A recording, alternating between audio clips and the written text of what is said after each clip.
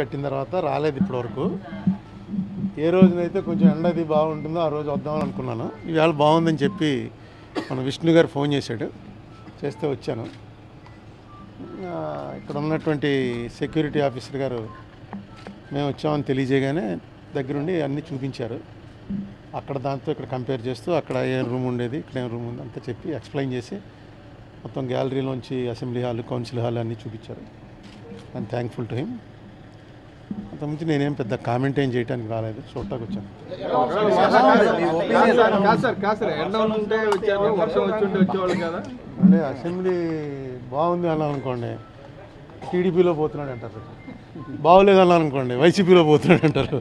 బాగుంది బాగోలేదు అని చెప్పేంత టెక్నికల్ నాలెడ్జ్ నాకు లేదు కానీ ఆ కొత్త మన స్టేట్కి సంబంధించిన కొత్త అసెంబ్లీ కట్టారు దాంట్లో చూడాలని ఎప్పటి నుంచో అనుకుంటున్నాను. ఇవాళ కుదిరింది వచ్చాను. ఆ రావటానికి నాకు ఉండవిల్లి ఎలా ఉంటుందో రోడ్డు అది తెలుసు. ఆ దాని గురించి ఎక్కడేదో కారుతుందని కాదు.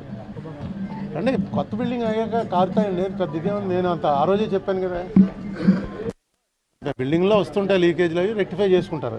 దాన్ని ఇష్యూ చేయవలసినటువంటి పెద్ద ఇది కాదనుకున్నాను. ఆ వేళ నేను అంటే మీకు మీడియాకు చెప్పాను కూడా దాంట్లో పెద్ద ఇష్యూ చేయవలసినంత ఏముంటుంది?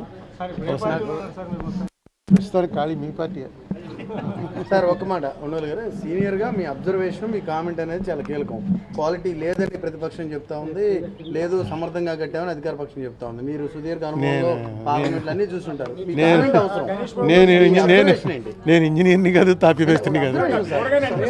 సదుపాయాలు సభ్యుడిగా మాజీ అనిపిస్తుంది. బాగుందనో బాగాలేదనో.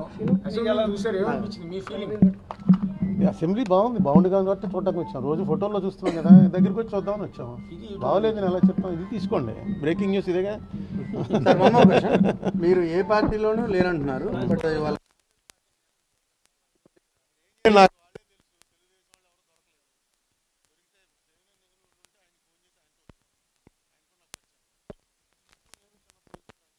విష్ణు ఫోన్ చేసి చెప్పాను విష్ణు రమ్మన్నాడు వచ్చాము. ఒకవేళ దేవుని నేరు ఉంటే నేను ముగ్గురం కలిసి వద్దాం